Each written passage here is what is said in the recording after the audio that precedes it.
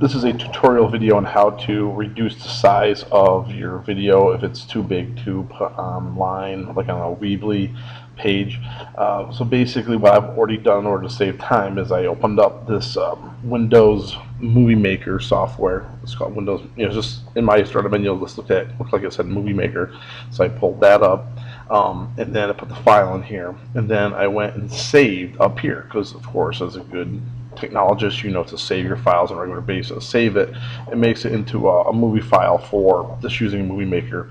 Um, and then if you had to go through and edit, you can in the software you can use a bunch of other you know titles, captions, credits, add add more content and make a longer project, which is you know pretty basic stuff here. But for our purposes, we want to reduce one video from let's say 1.2 gig to let's say 600 megabytes um, just come over here to the save movie. This is not the file that you're working in. This is actually a finished product. So you just click on that.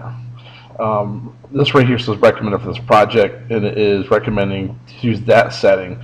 This video here originally was 143 megabytes, for example. This is going to reduce it to uh, 72 megabytes, so it cut the size in half. As you look down to the rest of your settings on here, and you can do a lot of different things. So for a high definition display, this actually makes the video bigger, believe it or not. Um, and then for an email, smaller, all the way down through, you know, for Android settings, Windows settings, uh, Blip TV, Flickr, MySpace, YouTube, Vimeo, um, or if you just want an audio track from it, you could do that right here. Um, but this is recommending for this project to go, you know, it's just gave me a recommendation what to use. It's going to reduce the megabytes in, uh, size in half. So I'm going to stick with this examples for Mo. I'm going to put a little movie on there just so it's easier for me to recognize in my files.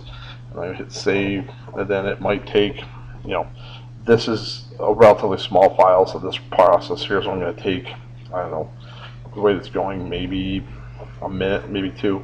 Um, if it's like a 1.2 gigabyte file, you want to get reduced to 600 megabytes or something easier. Um, it'll probably take longer because that's the way life is. Um, and then there you go. You're all set. Thank you very much.